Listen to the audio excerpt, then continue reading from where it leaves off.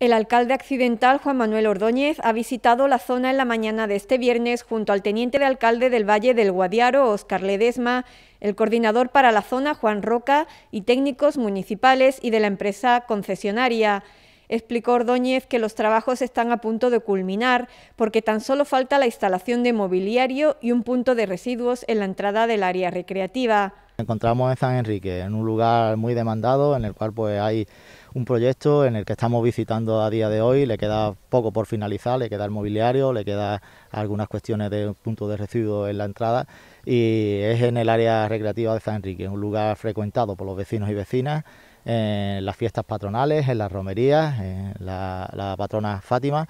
y en el cual pues vamos a continuar trabajando en la zona, en todos los entornos naturales para acercarlos a los vecinos, que se puedan sentir a gusto, que puedan interactuar con la naturaleza. Y es una empresa que es muy conocida dentro del ayuntamiento, en Oralu,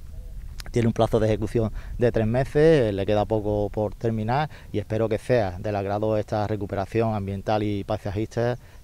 al lado del maravilloso río eh, Guadiaro, aquí a su margen izquierdo, en el cual tiene un encanto por explotar y para que los vecinos y vecinas puedan disfrutarlo. El ayuntamiento adjudicó en marzo por 112.000 euros a la empresa Construcciones, Excavaciones y Servicios Noralu SL la recuperación ambiental y área recreativa margen izquierdo Río Guadiaro, donde se celebra tradicionalmente la romería de la Virgen de Fátima de San Enrique.